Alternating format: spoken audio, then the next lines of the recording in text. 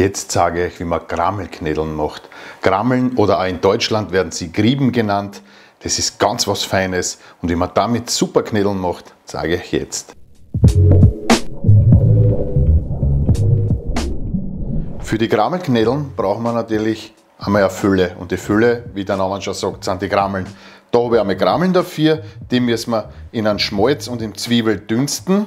Da kommt dann dazu ein Knoblauch, ein Kümmel, Griebener und ein Majoran, das habe ich da schon zusammen in einer Schüssel und ein Pfeffer kommt rein und natürlich ein Salz.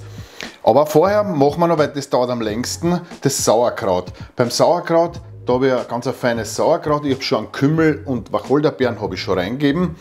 Äh, ein Wasser natürlich, das lassen wir mal kochen und dann am Ende geben wir Milch und ein Mehl auch noch dazu, dass es ein bisschen sämiger wird.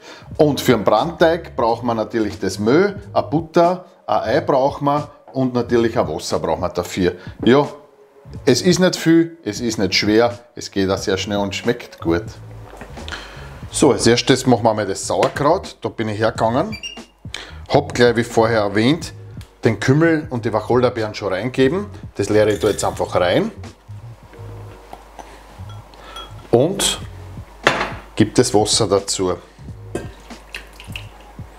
So, das lassen wir jetzt gute 45 Minuten kann das jetzt dahin köcheln.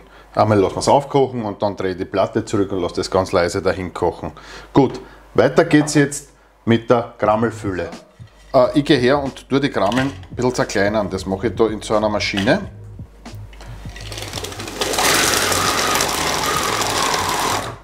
So schaut das gleich viel besser aus. Jetzt seht ihr, die Grammeln sind wesentlich feiner, kleiner. Und jetzt geht es weiter Jetzt gehen wir wieder zum Ofen damit. Okay, jetzt geht es weiter. Wir machen hier jetzt die Fülle für unsere Knödeln. Dafür gehen wir her und nehmen das Schmalz. So, nachdem das Schmalz jetzt heiß ist, gebe ich die Zwiebeln rein. Und die werden wir jetzt ein bisschen glasig dünsten.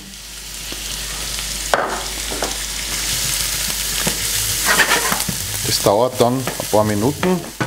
Gut, die sind jetzt glasig. Jetzt gehen wir her, tun die Krammeln rein.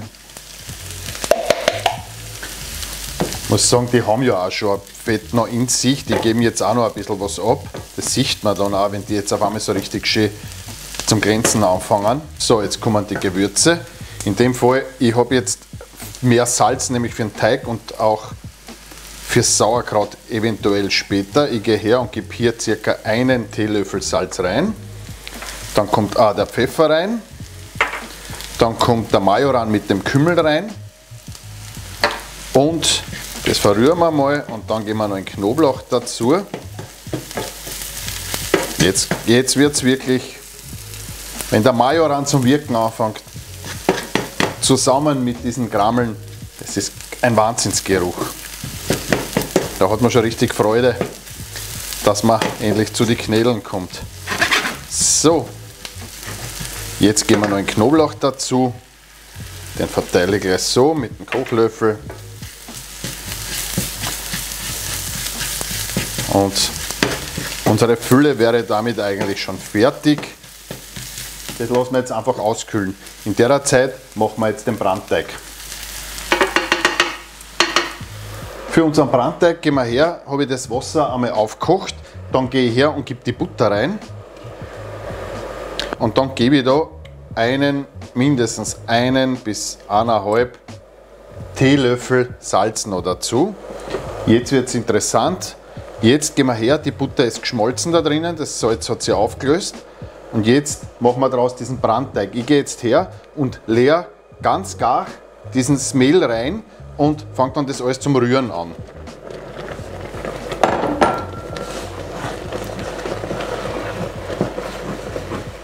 Das muss dann so richtig teigig werden. Genau so muss das ausschauen am Ende. Warum heißt das Brandteig? Weil es jetzt da unten am Topfboden leicht das Mehl einbrennt. Ganz leicht, das ist, bleibt so eine Schicht da unten. Jetzt seht ihr das gleich. Man kann die Platte schon abdrehen, dass ich das in keinem Fall zum Anbrennen anfängt. Aber So soll das ausschauen. Man merkt, da unten bildet sich so richtig eine Schicht. Ich hoffe, das sieht man. Ich werde euch das ein bisschen zeigen. Da unten ist so eine richtige Schicht drinnen. Dann ist der Teig gut. Und jetzt vermischen wir das einfach. Das wäre es einmal. Jetzt gehen wir her, stellen das auf die Seite und müssen einfach warten, dass das ein bisschen auskühlt. So, nachdem unser Brandteig nur mehr handwarm ist, können wir jetzt schon das Ei reingeben. Und das Ganze noch einmal gut durchmischen.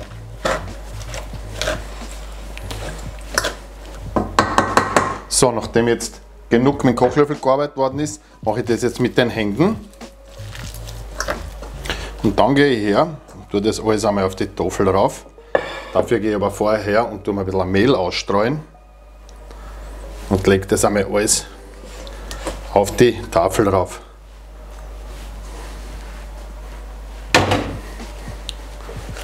Und jetzt machen wir einen richtigen Brandteig draus.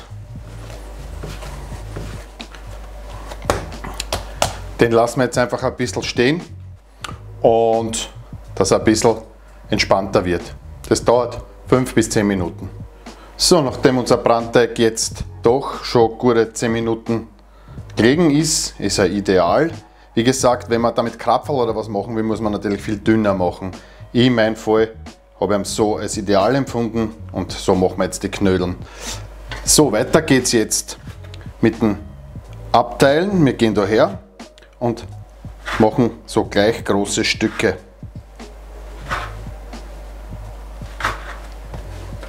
Dann gehe ich her und drücke diese Teigstücke auseinander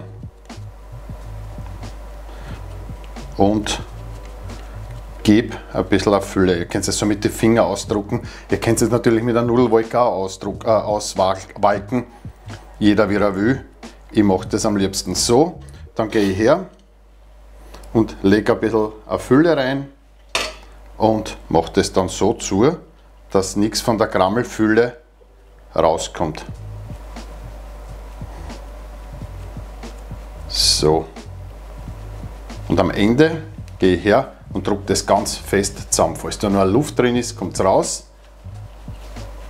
Ganz fest zusammendrücken und eine Kugel draus machen.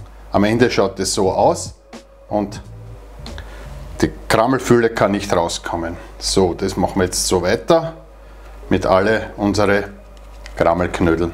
So, die Krammelknödel sind jetzt gemacht. Jetzt kommen sie rein ins heiße Wasser. Ich gehe daher, ich habe mir da Wasser hergestellt. Ihr seht, es kocht ganz leicht. Jetzt gehen wir her, tun wir da Salz rein. So ein Löffel wird reichen. Und jetzt werden wir die Knödeln reingeben. Ganz einfach, das soll nicht wie wahnsinnig aufwallen, das Ganze, sondern das soll nur einfach leicht köcheln. Ich habe die Platten jetzt ein bisschen noch mehr aufgedreht, das kurz einmal kocht.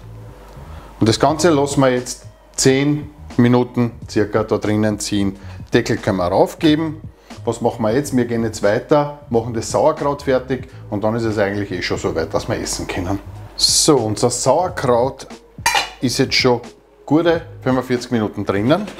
Schaut schon ganz gut aus. Was mache ich jetzt? Ich gehe jetzt her, nehme die Milch und gebe das Mehl rein und verrühre das einmal, dass sich das Mehl sehr gut vermengt mit der Milch so. Und das gebe ich jetzt alles in das Kraut rein. Und rühre das einmal gut durch. Ihr seht, das Mehl wird jetzt ganz, bindet jetzt super. Dadurch wird das Sauerkraut sehr sämig und schmeckt das sehr gut nachher. So. Ja, das schaut super aus. Herrlich. Und jetzt schauen wir uns noch zu den Knödeln schauen wir rein. Da sieht man auch, die sind auch schon ganz, ganz gut drauf. Dann nehme ich gleich vom Sauerkraut.